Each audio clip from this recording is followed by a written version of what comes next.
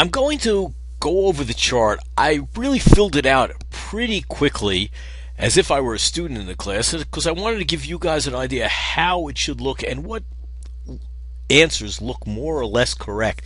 Keep in mind, it's an exercise to get you to learn about uh, this period, the pre Socratic period, the pre Socratic philosophers.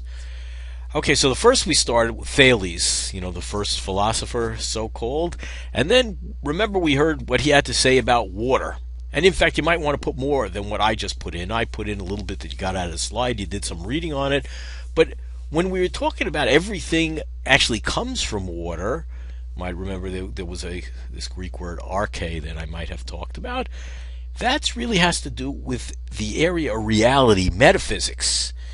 And it within metaphysics, it's really an answer to cosmology. When he says everything comes from water, water is the origin. Where does the cosmos come from? It comes from water. So I made a note of that.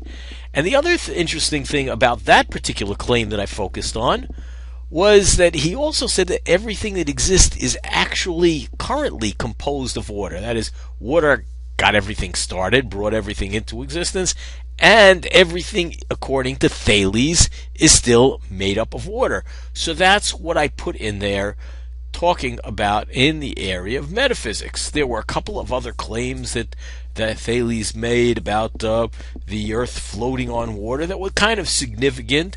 Um, they were significant scientifically. They were also significant in the development of the the right frame of mind to make philosophy. But you could add those on. I just left them out on for the sake out for the sake of simplicity. And actually, I made a comment in the epistemology, the theory and knowledge section about that.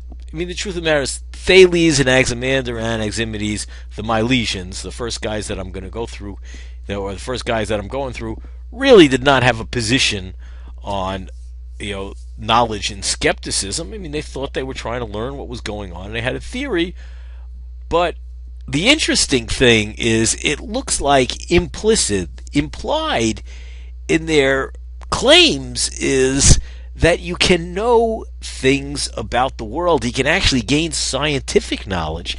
And how do you actually gain that scientific knowledge? You gain it through observation.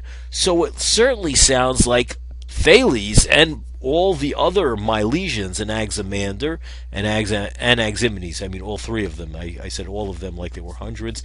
We're really talking about three main characters, but all of them and the positions they took seem to imply that everything that we know can be learned through observation. So it seemed to be endorsing um, empiricism.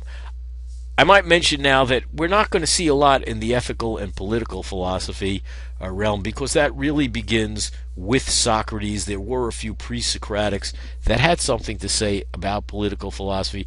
Most of that, most of the what they had to say has been lost over the years, but some of them did take positions on it. So that's Thales, and that's how to fill out the chart for Thales.